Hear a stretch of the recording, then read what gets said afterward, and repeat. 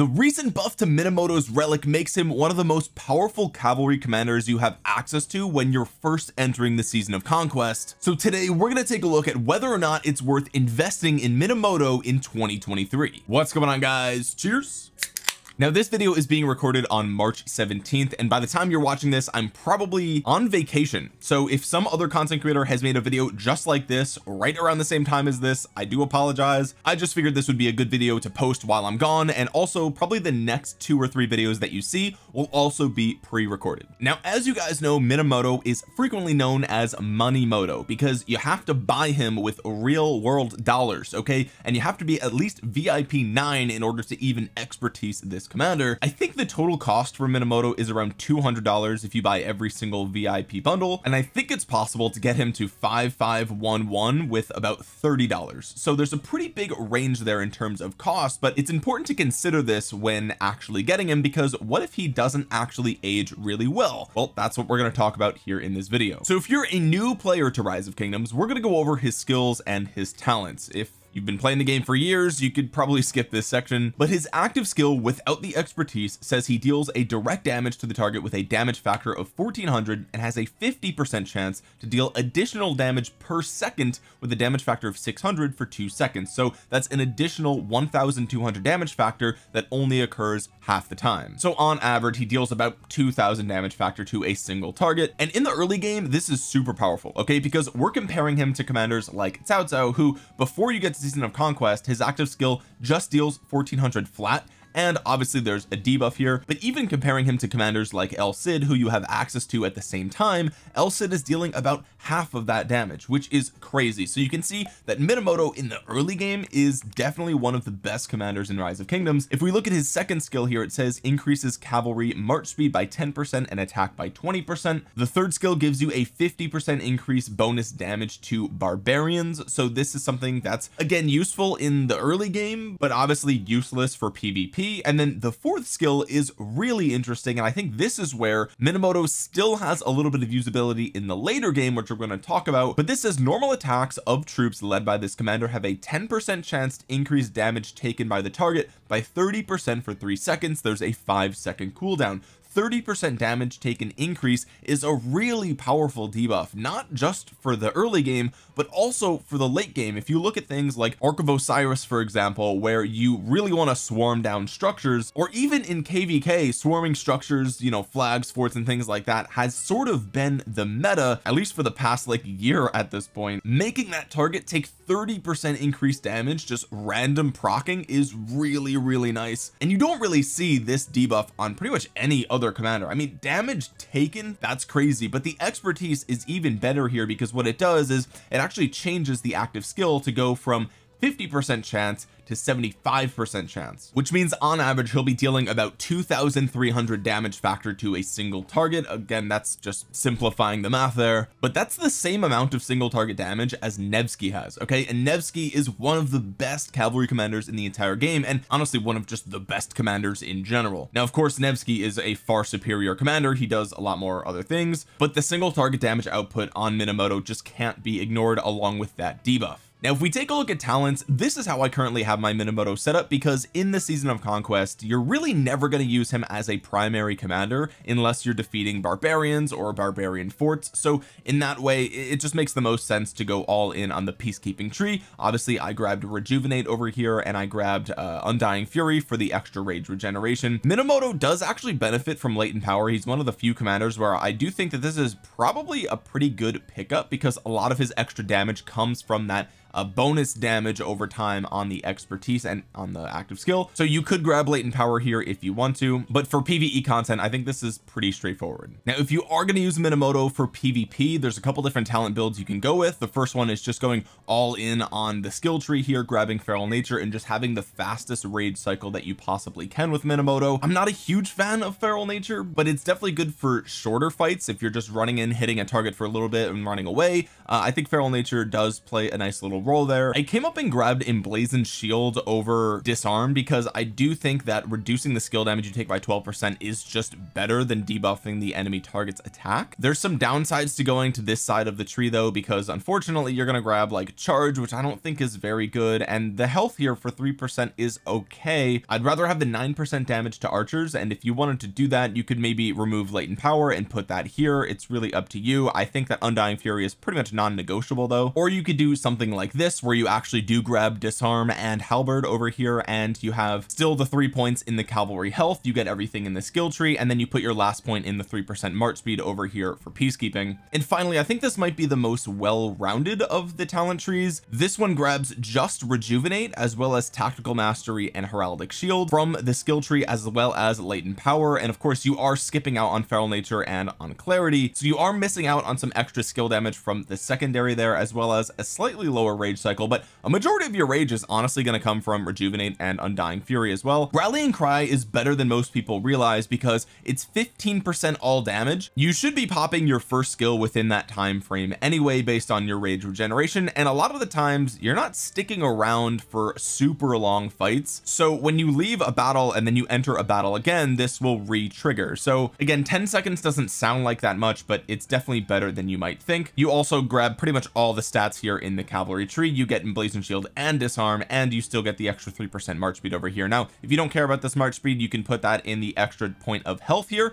it's up to you or you could put it in equestrian excellence if you care about that. So really it just comes down to personal preference. Now since we're talking about a commander that involves spending money to get let's talk about the pros of getting Minamoto okay? The first of all the earlier you get Minamoto the more you're going to get value out of him right? Because you'll just have him for a longer period of time. So if you get him in pre kvk for example you're going to get use for him all throughout kvk 1 and 2 and then you'll still have access to him in season of conquest and kvk 3 as well. So you'll get a lot more time out of that. If you're already in season of conquest the value of Minamoto goes down significantly because I mean you already have access to commanders like Nevsky like William like uh Joan of Arc Prime for example. So at that point it's like you know if you're gonna spend the money on him it's probably better to do it in the early game so you can at least get those free PvP kills from him from players who are still using things like El Cid for example okay? The other pro of getting Minamoto is that because he has so many PvE uses he never really is fully useless right? For example if we look at a commander like let's say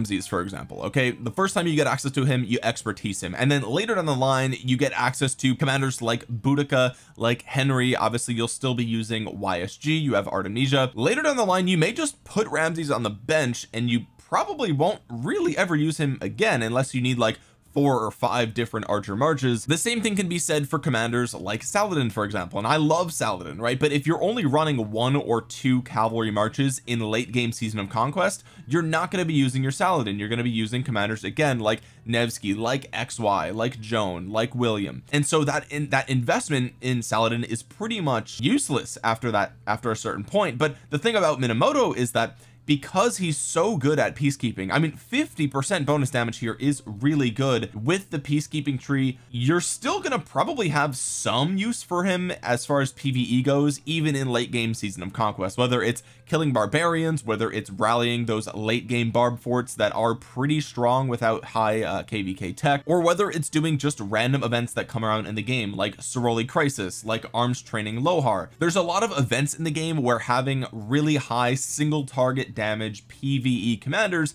is still going to be relatively useful. So Minamoto in that way is never fully useless. Sometimes he may just be a third fourth fifth pick for PvP but he still holds at least a little bit of value in PvE now the other pro that Minamoto has along with the other season one and two commanders is that he actually gets access to a relic that not only has one star but you can upgrade it to two stars which you can see I've already done here. And this is one of the most powerful relics in the game and I'm really happy to see that they did that for Minamoto because again he is a commander you have to spend money on. So you would really like to see a really powerful relic come for this commander and they did. They gave him 60 percent of stats. Guys if you look at his base kit just his regular skills he only has 20 percent attack and 10 percent march speed. That's it. So he really only has 20 percent of battle stats out of the box and here you're getting an additional 60 so now he has 50 percent cavalry attack 30% cavalry defense and 10% cavalry march speed which really brings back it revitalizes him for this season of conquest. So we're going to talk about some of the commander pairs that you can use with him later in the video but this is a huge pro. The fact that you can still sort of use him in season of conquest even for your first season of conquest before you even have access to Nevsky or Joan of Arc or commanders like that you will still have access to your Minamoto and he will pack a massive punch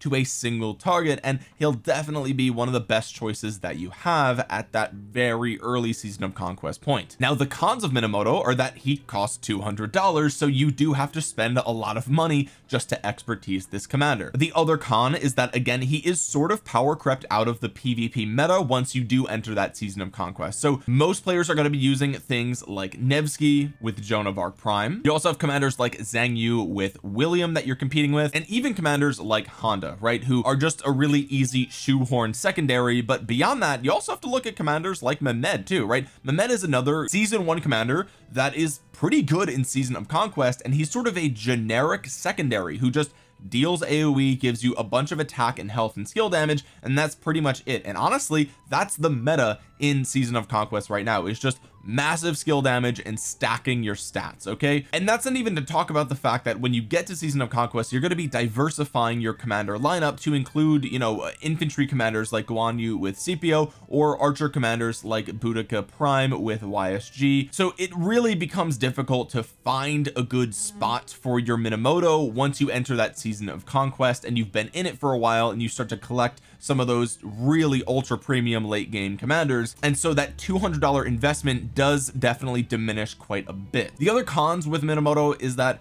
he is pretty glass cannon right? He he does have that 30 percent defense on the relic which is nice but depending on who he's paired with it's really easy to get good trades against him when you're swarming him down because he doesn't really have any anti-swarm uh, technology built into him for example. Also you can't really use him as a primary commander in season of conquest like I talked about before because the problem is that when players see that Minamoto logo in the open field they assume that it's a player that doesn't have access to really good commanders. So they assume that they in turn also don't have great equipment they don't have great armaments they probably don't have maxed uh, crystal technology and they'll just assume that this is basically free kills and nine times out of ten or probably 10 times out of 10 they're going to be right okay? So basically Minamoto in the open field is just a big target on your back saying hey I'm new to season of conquest please melt me okay? And they will and they're going to get a bunch of kills on you and it's not going to be a good experience. So with all that being said who should be expertising Minamoto? Who should be getting him to 5511 well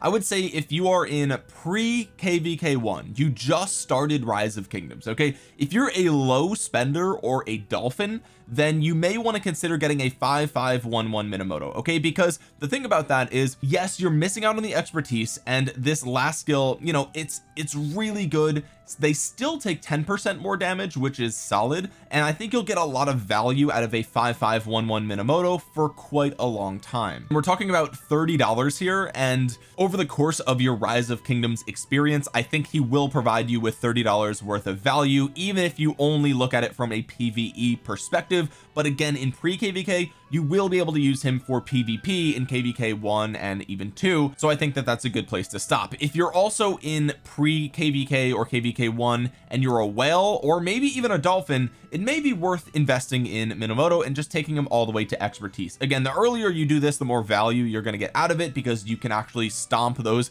early game free to play players or players who just don't really know what they're doing in the early game. Even whales in the early game a lot of times if they don't watch content like this they'll be using random just terrible commander pairs in the early game and an expertise Minamoto can definitely shred those even if it looks like an unfavorable matchup. Once you start to enter season two season three or season of conquest with Minamoto then it really becomes a question of are you a whale or not and do you want to just play around with him? If you are a whale then sure go ahead and expertise and play around with his uh, with his relic. If you want to use him as like a fourth or fifth cavalry march or maybe even a third cavalry march because now his relic is pretty good and we're going to talk about those commander pairs in just a second. That's something that you could do but once you're in season of conquest I think expertising Minamoto I don't know it's it's really expensive for a commander that doesn't have that much value left in the tank. All right now let's talk about some commander pairs for Minamoto. Obviously if you're in kvk one or two you have access to Cao Cao this is the best pairing. Obviously you want to do Minamoto primary Cao Cao secondary. Uh, it's just a ton of single target damage and there's a little bit of debuffing on this. There's some rage regeneration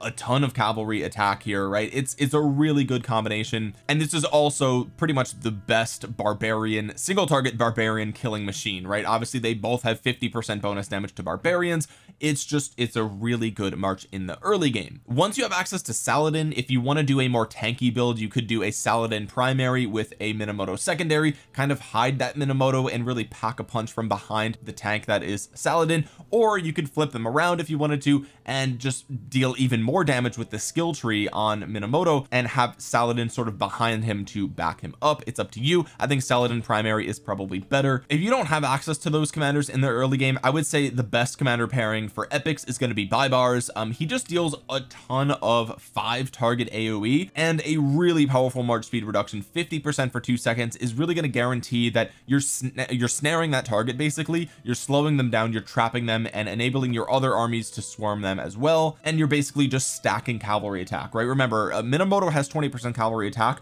Baibars also has the same amount on an epic commander which is really good. And again his active skill if you're hitting five targets is more damage than Minamoto. So he's actually a really good uh, cavalry commander in the early game. And the march speed for running away is actually pretty good if you find that the matchups are unfavorable. Plus you never want to use an epic commander as your primary commander even in the early game because most of the time players are going to target the epic commanders first. They're very easy to spot in the open field because they're purple instead of orange. So people just know okay they're using epics they're probably free to play or really weak so I'm just going to swarm them down whether that's true or not. So you're basically hiding your Baibars behind an at least a legendary commander okay? So that's great for the early game. Once you enter season of conquest you have a bunch of different options right? Uh, and this is where Minamoto is no longer a primary commander. He's always going to be a secondary commander unless you're doing PvE content. And even then you probably want to use somebody like Nevsky as your primary. A Nevsky primary with Minamoto secondary is probably the best thing that you can do for Minamoto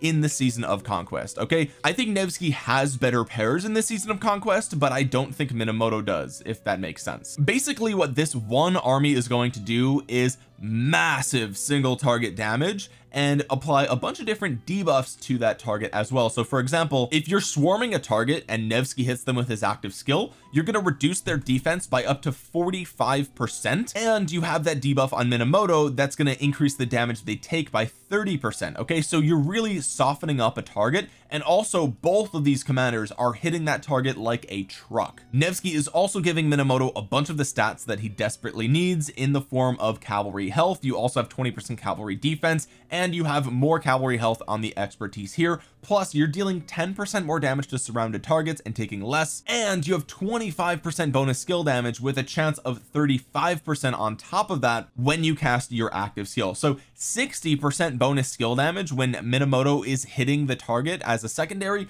absolutely massive nukes here okay? And also Nevsky really benefits because remember Minamoto is bringing 50 percent cavalry attack and 30 percent cavalry defense. That is absolutely huge for a commander that already has 20 percent attack and 20 percent defense okay? So we're talking about 70 percent cavalry attack 50 percent cavalry defense 20 percent cavalry health and a 10 percent chance to gain 30 percent more health okay? The raw stats on this commander pair is just through the roof and this is why I think this is one of the best ways to still use your Minamoto in season of conquest. So if you have an expertise Minamoto and you just enter season of conquest your first expertise should probably be Nevsky so you can just slap these two together and just have an absolute single target shredder. That's basically what this is. You're just nuking a single target from orbit with this pair and it's really powerful. Some other commander pairs you can consider are commanders like Joan of Arc. This is going to be also a primary commander. This is a little bit more squishy than the Nevsky primary but it brings some AoE to the table and that's what Joan of Arc is great at.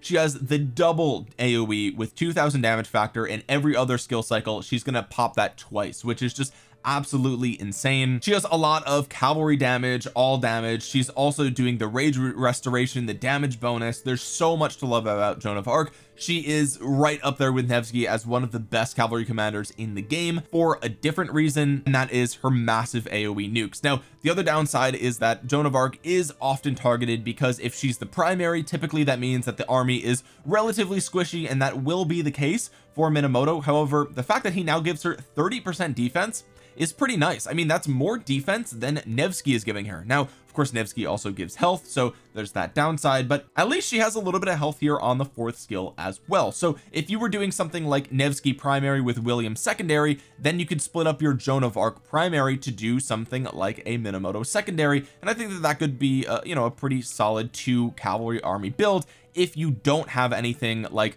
uh Xiang Yu for example or you don't have Attila or some other way or some other pair to do I think Minamoto you could easily fit in there. If you are doing a Nevsky primary with Joan secondary and you still want to use your Minamoto and you have your Saladin sitting on the bench then I think a Saladin Minamoto combo is fine. Uh, it's to deal some nice single target damage. It's to be relatively tanky uh, and it's to make whatever target you're hitting a little bit more squishy because of the debuff here on Minamoto. So is this the best pairing? No but I would say that it's still a decent pairing that you could do. And I think probably one of the last pairings we can talk about is Xiang Yu primary with Minamoto secondary and this is the definition of glass cannon. Okay this the DPS on this march is going to be through the roof but it's going to be really hard if you get swarmed down which you probably will because Xiang Yu is known for being very squishy. So this is a high risk high reward march but the skill cycles on this on this commander pairing are going to be absolutely insane. You have a very low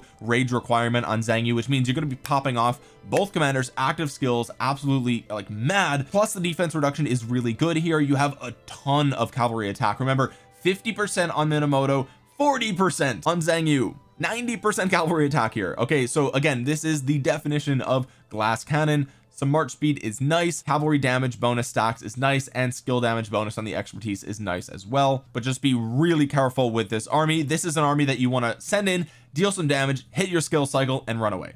And that's pretty much it. So guys you can take this information and decide for yourself is it worth it for you to get Minamoto here in 2023 I think his brand new relic is really powerful and it's definitely something worth considering. With that being said if you found this video useful or informative or entertaining drop a thumbs up on it. It really helps out the channel a ton. It helps get this video out into the YouTube algorithm and tells YouTube that you want to see more content like this. If you don't want to miss any of my rise of kingdoms videos you can subscribe to the channel and consider clicking the bell to be notified the next time that I upload. And comment down below what you think about Minamoto. Did you invest in him? Do you regret investing in him? I would love to hear from you down there. And with that being said guys. Thank you so much for watching. This has been Omniarch. I will talk to you guys again soon. Peace